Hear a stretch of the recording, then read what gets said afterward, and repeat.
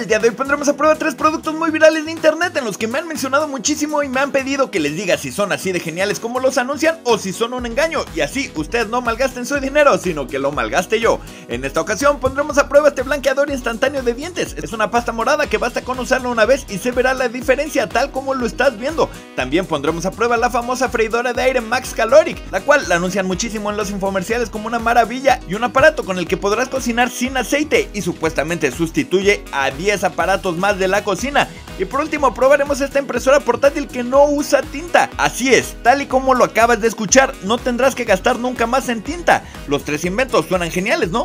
Pero serán verdad. Bueno pues, pongámoslo a prueba.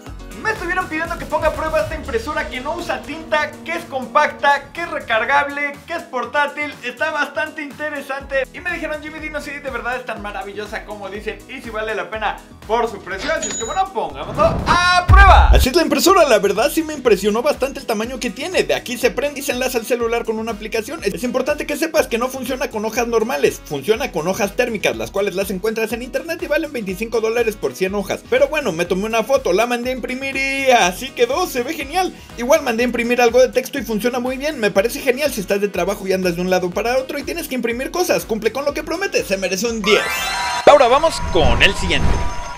Me pidieron muchísimo que ponga a prueba esto que es para blanquear los dientes al instante. Se supone que te lo vas a poner así y unos minutos después te lo limpias y ya quedan blancos así como lo estás viendo. De hecho, hasta hacen la prueba así en una fruta. Se supone que puedes hacerlo en cualquier fruta de color amarillo y le vas a poner así. Después lo limpias y queda blanco. Interesante, me dijeron Jimmy, pon la prueba y dinos si funciona de bien y si vale la pena por su precio. Así es que bueno, pongámoslo a prueba. Así es como viene, lo saqué y primero quise hacer la prueba del plátano. Lo apliqué en él, lo dejé ahí que hiciera su efecto durante 10 minutos. Después regresé, agarré, le quité lo morado y wow, una parte ya se había puesto blanco completamente. Pero veamos ahora qué es lo que pasa con los dientes. Lo apliqué, lo esparcí por todos mis dientes e igual dejé que hiciera su efecto. Después agarré y me enjuagué con agua bien todos los dientes para que saliera todo lo morado. Sonreí y wow, checa qué blancos y bonitos se ven. No lo podía creer, pero espero que tú tampoco te lo estés creyendo. Esto es solo un filtro que trae el celular, realmente me quedaron así, igual que como ya estaban antes. Lo del plátano yo lo pinté de blanco. Esto que anuncian es completamente falso.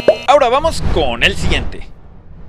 Vamos a poner a prueba esta super freidora de aire que bueno lo que le anuncian es que es más que una freidora de aire, es como un horno, un rostizador, un tostador, un deshidratador, horno para pizzas, parrillas, no sé qué tantas cosas dicen que es 10 en 1 y que genera mucho más calor y que según esto es una maravilla, ¿no? Está interesante, me dijeron Jimmy pon la prueba y dinos si funciona así bien y si vale la pena por su precio, así es que bueno, pongámoslo a prueba. Así es la freidora, se ve bien hecha y tiene sus distintos utensilios y charolas, los cuales se colocan a distintas alturas según lo que marca aquí que vas a cocinar.